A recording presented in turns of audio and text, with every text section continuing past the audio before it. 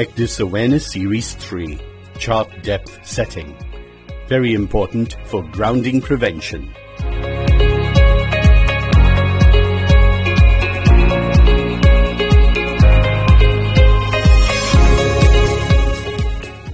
Good morning, third mate. Good morning, Captain. How's it going? Very well, sir.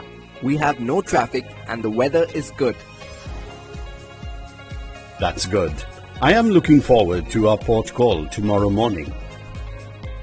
Me too, sir. Very good. Our arrival draft is 9 meters and the coastal and port area may have many shallows. So I would like to reconfirm the ECDIS chart depth settings on the arrival ENC. Aye, sir.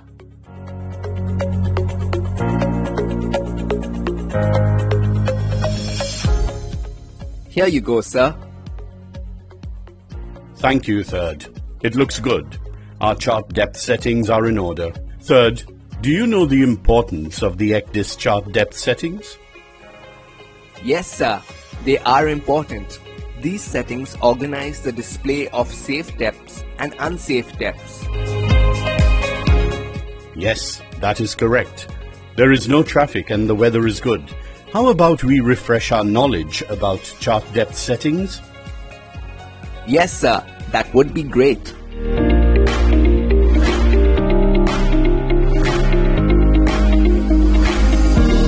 Contours, as you know, are lines on a chart that join equal depths or equal heights. Chart depth settings refers to the value inputs by the user for the shallow contour, safety contour, safety depth, and deep contour. Yes, sir. But, sir, how are these values decided? Good question, third. The ship's master decides the values of the chart depth settings as per the ship manager's guidelines. But the first important thing to understand is how the ECDIS selects the contour for display. Most ENC cells usually only contain depth contours such as a 2 meter, a 5 meter, a 10, 15, 20, 30, 50 meter, etc. The ECDIS is programmed to display depth contours equal to input values or the next higher available contour.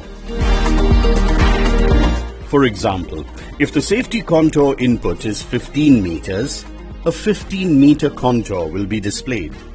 If a 15 meter contour is not available, the next higher 20 meter or higher contour will be displayed. Another example, as in our case, we have an input of 13 meters, but ENC does not have a 13 meter contour, so the ECDIS will display the next higher available contour, such as a 15 meter. I could understand it very well. I will explain the display with each type of depth contour and safety depth in a default setting of 4 color display. The shallow contour outlines the shallow waters of high grounding risk. Depth less than the shallow contour is shown in blue color. The vessel should never enter this area. Corresponding to the safety depth settings, depths that are equal to and lesser than the safety depth will be shown in black bold fonts and soundings deeper than the safety depth in grey color. The vessel must not plan passage over black bold soundings. However, if needed, a vessel may do so only after confirming UKC in compliance with the ship manager's guidelines. The safety contour is the separation line between navigable water depths and depths less than the safety contour.